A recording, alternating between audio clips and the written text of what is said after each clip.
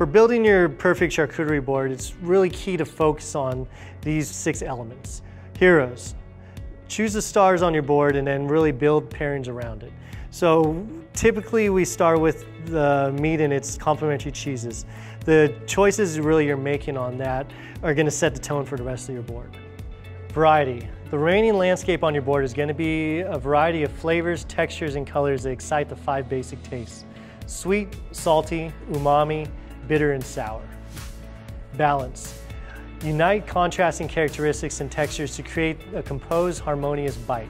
So that perfect bite that you're searching for. Visuals. In this case, first impressions matter. Charcuterie really embodies that eat with your eyes first mentality. Quantity. The size of the board depends really on the number of guests that you have. We typically suggest two to three ounces of meat and two ounces of cheese per person.